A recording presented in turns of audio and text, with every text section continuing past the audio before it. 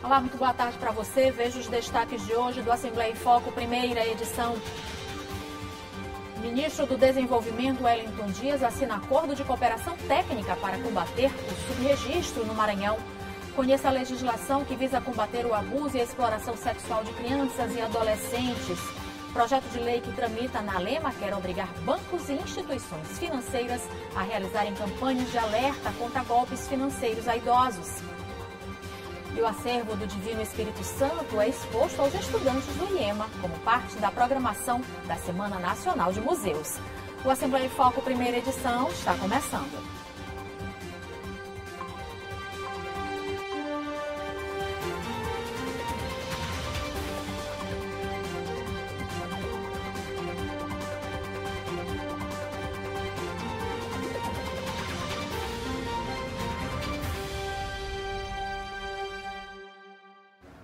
Gente começa o F1 indo direto ao plenário na GBA e que eu falar com o repórter Joelson Braga, que vai contar pra gente como foi a semana no parlamento. Boa tarde, Joelson.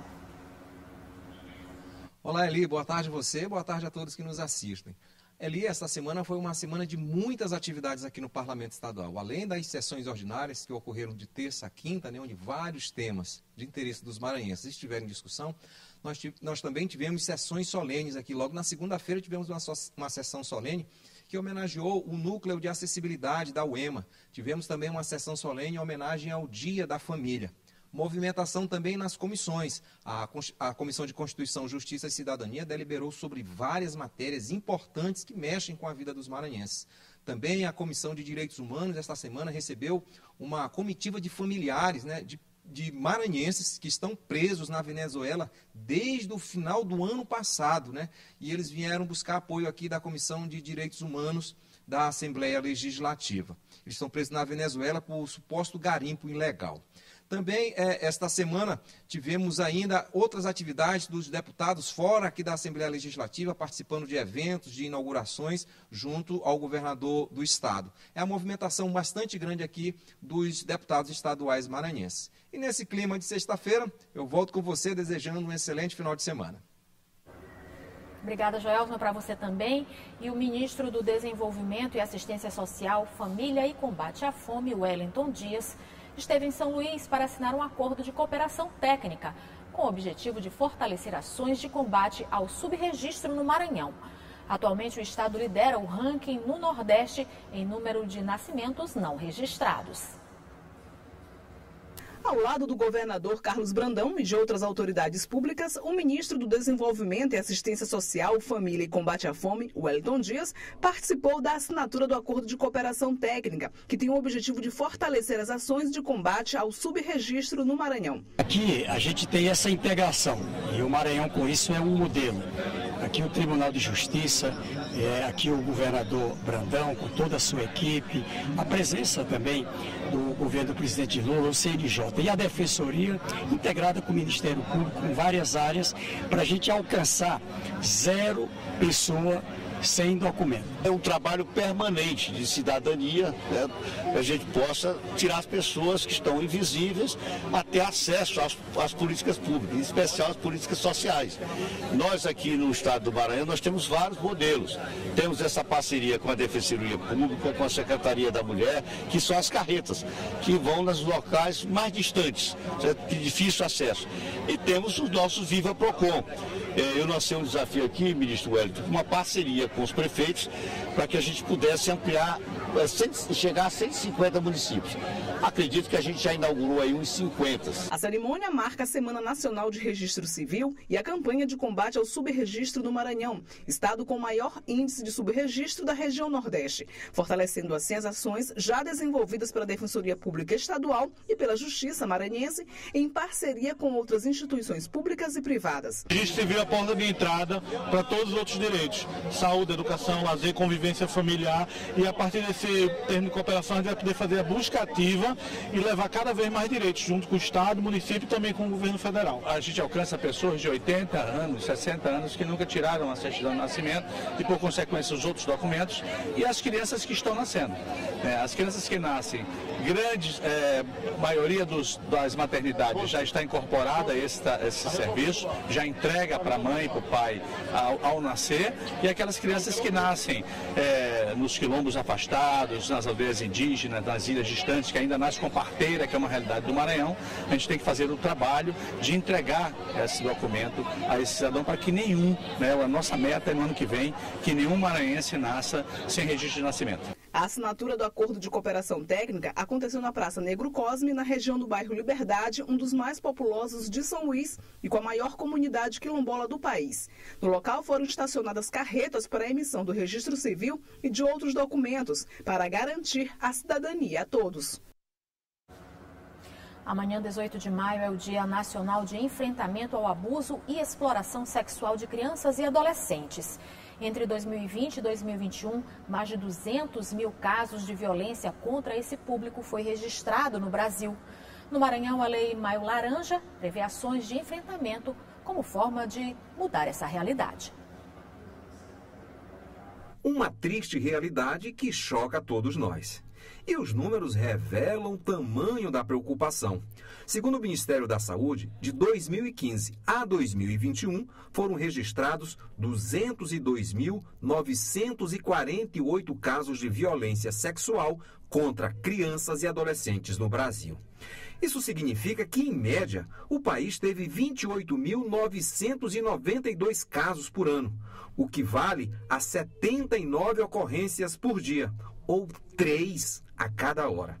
No Maranhão, no mesmo período, foram 713 casos de abuso sexual contra crianças e 2.243 contra adolescentes. É estarrecedor. E na busca por reverter a situação, um projeto de lei da deputada Janaína virou a Lei 11.985, que institui o Maio Laranja mês para dar visibilidade ao tema e estimular campanhas de enfrentamento aos casos. Eu conclamo todo o nosso estado do Maranhão para que juntos e juntas a gente leve essa pauta de conscientização que as nossas crianças elas, devem ser protegidas. Então, em qualquer caso suspeito, faça bonito, diz que 100. Outro dado é que 93,3% destes casos a vítima é uma mulher. As denúncias da presença de imagens de abuso e exploração sexual infantil na internet bateram recorde no ano passado. O resultado é o maior da série histórica iniciada em 2006. Foram 71.867 queixas no ano passado, número 28% superior ao recorde anterior, registrado em 2008, que tiveram 56.115 denúncias. Os dados são da organização não governamental Safernet. Toda e qualquer violência deixam marcas que geralmente comprometem o desenvolvimento de crianças e adolescentes. Agora, quando esta violência é praticada por pessoas da família ou então próximas à vítima, a tendência é que a visão de confiança, segurança fiquem abaladas e essa situação se reproduza na vida adulta. É o que se classifica como o ciclo da violência. Situações de traumas e eventos negativos que ocorrem nos primeiros anos de vida são capazes de gerar uma série de danos emocionais para o resto da vida. Por isso, buscar mecanismo de ajuda e proteção são muito importantes.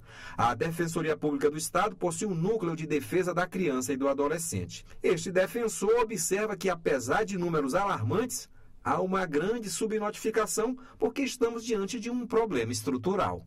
Nós estamos aí no Maio Laranja, que é um período de sensibilização da sociedade para essa temática. A violência sexual é uma violência das mais severas que impactam no desenvolvimento das pessoas, de crianças e adolescentes. São danos que são causados, que vão perdurar para a vida toda. Então nós temos famílias que muitas vezes não conseguem notificar também porque são ameaçadas né, pelos agressores. Então é uma temática que toda a sociedade precisa se envolver, ficar atenta e acionar os órgãos de defesa, mas sobretudo sempre buscando a proteção, o bem-estar e o cuidado dessa pessoa que foi violada, que deve estar no centro das atenções. E 18 de maio é o Dia Nacional de Combate ao Abuso e à Exploração Sexual Infantil no Brasil. É importante discutir, provocar conversas sobre a situação. Somente com conscientização é possível enfrentar o problema, como ressalta o defensor público. E que nós tenhamos tenhamos equipamentos públicos também que fiquem cada vez mais atentos, que nós tenhamos escolas preparadas para identificar sinais de violação, o serviço de saúde também se torne mais apto e preparado para receber esses casos e que o sistema de justiça também consiga se aperfeiçoar cada vez mais para dar uma resposta não só à sociedade que busca a elucidação e a responsabilização, mas que dê uma resposta cada vez mais humanizada de cuidado para essas pessoas que são vitimadas e que precisam de uma atenção toda especial de tratamento terapêutico, psicológico, atendimento de saúde adequado e numa resposta rápida e que tenha um atendimento humanizado. Pela quantidade de casos, dá para compreender que o abuso e a exploração sexual contra crianças e adolescentes não é um problema isolado. É uma questão crítica, delicada e que precisa ser freada com urgência. E veja no próximo bloco, o projeto de lei que tramita na Lema quer obrigar bancos e instituições financeiras a realizarem campanhas de alerta a golpes financeiros contra idosos. E a história de superação contada em livro do escritor Marcos Soares Brasil. É o que você acompanha logo após o intervalo.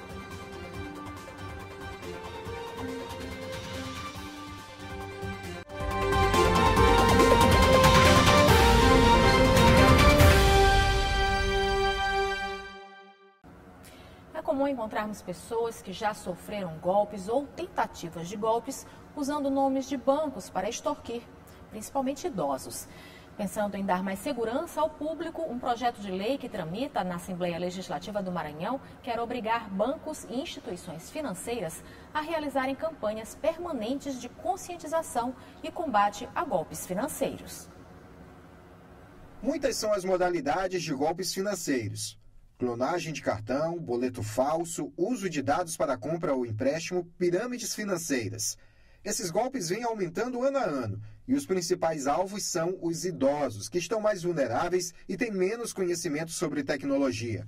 Segundo a Federação Brasileira de Bancos, FEBRABAN, desde o início da pandemia, em março de 2020, as tentativas de golpes financeiros contra idosos aumentaram 60%. Então, na pandemia aconteceu muito do, do idoso receber a ligação e a pessoa ter todos os dados dele, saber quantos empréstimos ele tinha, é, qual era o cadastro dele, saber tudo, saber a vida financeira dele toda. E aí dizer, olha, você tem tantos reais de, de empréstimo, você não quer diminuir essa parcela? Aquela proposta que, que normalmente é feita para renegociar o débito. E aí o, o idoso ia com sua carteirinha, fazia uma foto, e aí é, homologava. E quando ele ia ver, ele estava com vários empréstimos feitos e ele nunca recebeu aquele valor. Aqui na Assembleia Legislativa tramita um projeto de lei que obriga bancos e instituições financeiras a fazer campanha permanente de conscientização e combate a golpes praticados contra a pessoa idosa. O projeto de lei, de autoria do deputado Leandro Belo do Podemos, já teve parecer favorável na Comissão de Constituição, Justiça e Cidadania. Segundo o autor do projeto, a ideia é garantir proteção e orientação à pessoa idosa que foi vítima de um golpe. A Defensoria Pública também tem atuado em favor dos idosos, fazendo com que bancos reparem o erro. A Defensoria Pública oficia aos bancos, apresenta os documentos que comprovam que aquela operação foi fraudulenta e, algumas situações, os bancos reconhecendo a fraude, eles cancelam esses empréstimos e ressarcem os, os consumidores idosos do, dos, das, das parcelas descontadas das suas aposentadorias. Deputados estaduais prestigiaram o lançamento do livro do escritor Marcos Soares Brasil. A obra registra uma história de superação e serve de incentivo e positividade para os leitores. É o 16º livro do escritor maranhense Marcos Soares Brasil. Conta a trajetória de recuperação dele após sofrer um acidente em 2019, ter sido diagnosticado como paraplégico até conseguir voltar a andar. Sou um caso raro de um lesionado medular consegue ter todos os seus movimentos restaurados. Então, por essa razão, eu decidi publicar esta obra, é o meu 16º livro, e ajudar as pessoas, não só em relação a quem tem lesão medular, mas a pessoas que desistem por qualquer motivo, que acham que a vida é sofrimento, que acham que não tem jeito. Eu defendo que é possível, sim, realizar o impossível. O lançamento da obra contou com a presença de parentes e amigos que acompanharam o processo. Deputados estaduais também prestigiaram o evento, que aconteceu na sede da Alema. A gente está muito feliz, eu tenho certeza que o livro vai ser muito bem aceito né, por todos que queiram realmente uma inspiração, né? Aqueles que de repente estejam achando que não tem mais jeito, né? Deus sempre dá um jeitinho e o Marcos é esse exemplo para a gente, então é uma tarde de muita alegria. Tenho certeza que vai servir, esse livro vai servir para muitas pessoas que precisam dessa informação, desse entusiasmo e desse esse grande exemplo de vida que ele traz, esse testemunho de vida. Então, esse testemunho de vida, ele é importante para todos nós, além dessa boa leitura. Eu Nasci de Novo conta uma história de superação. A ideia, segundo o autor, é levar a mensagem de esperança para o público. Entregando esta obra para o povo do Maranhão. Por isso que eu fiz questão de fazer aqui na Assembleia, porque simbolicamente aqui representam, os deputados e deputadas representam o Maranhão. Então eu achei interessante dizer assim, ó, maranhense, você precisa acreditar, você precisa acreditar que é possível uma vida melhor. Então por essa razão eu escolhi a Assembleia Legislativa. E veja no próximo bloco, estudantes do IEMA têm a oportunidade de conhecer o acervo do Divino Espírito Santo, como parte da programação da Semana Nacional de Museus. É o que você acompanha logo após o intervalo.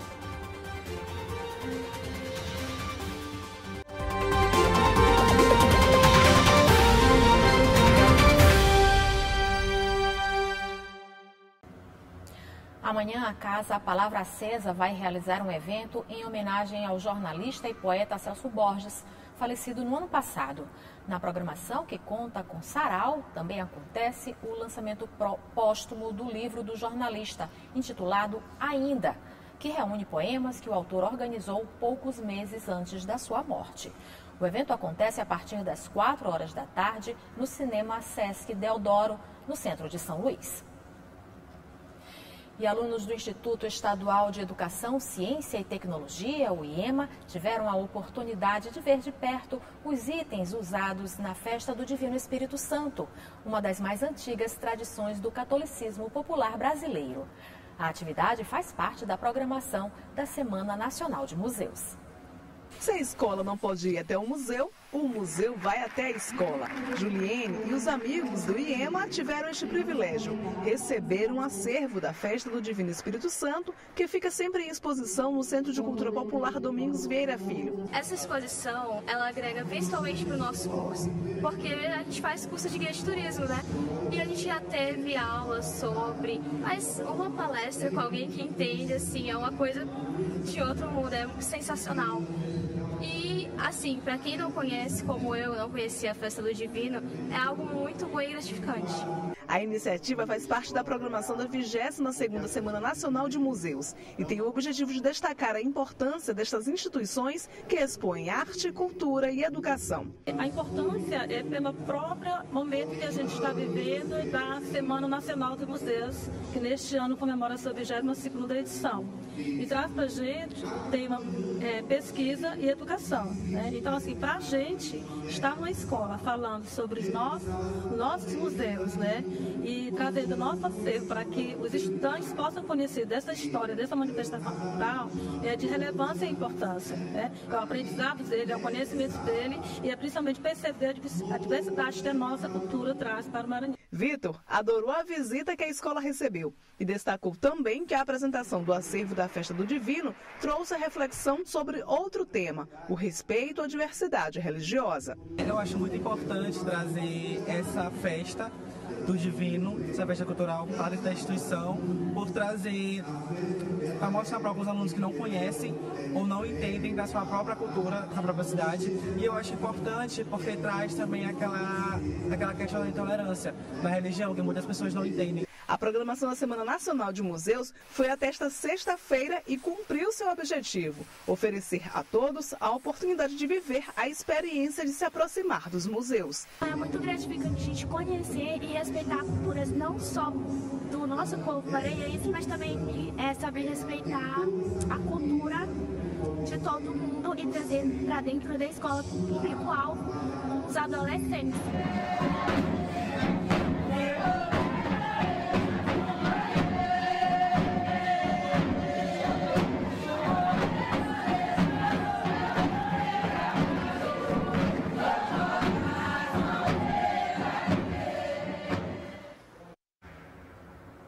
A F1 fica por aqui. Uma ótima tarde para você. Aproveite seu fim de semana. Tchau.